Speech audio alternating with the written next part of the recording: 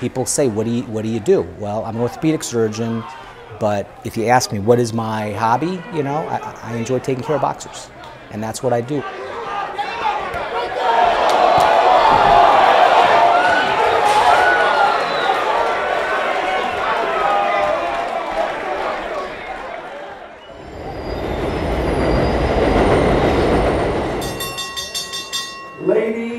And gentlemen, live from the Cordon Bleu in Queens, New York City, Friday Night Fights.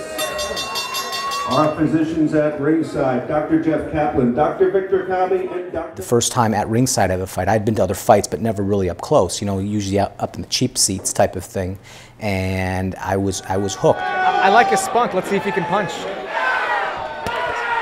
Just hearing the punches, being there, seeing the action. You know, there's two guys in the ring, you know, fairly evenly matched, and are just going to fight it out. There's a reason why I'm a big fan. People think I'm the guy that, like, you know, does the cuts. You know, I said, no, that's the cut man.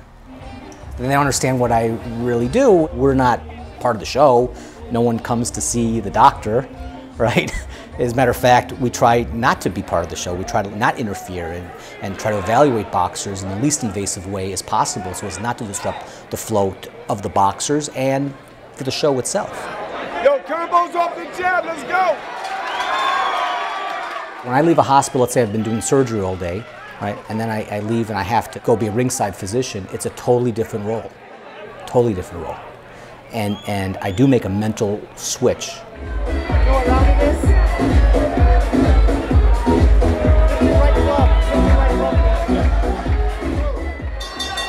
Once that bell rings, that boxer turns into my patient, right?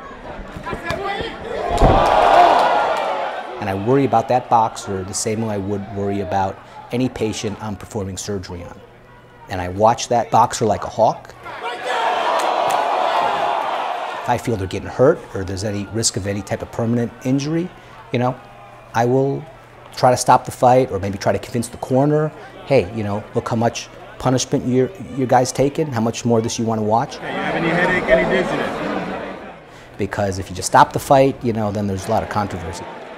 But that's the worrisome, those few moments from when they're knocked out till they wake up and be able to interact with you where you can assess what's going on. You know, those are probably the moments that, you know, get to me the most.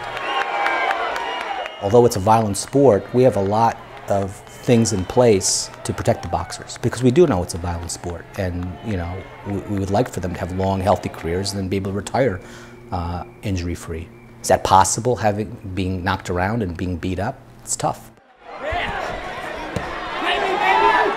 you know, I'm not a politician and I don't determine what society, you know, does, but I do know that the boxers need help. You know it's okay? Is it? And oftentimes these boxers are hurt, so I think they appreciate having someone on their side, in their corner, looking after their best interest. Thank you, Doctor.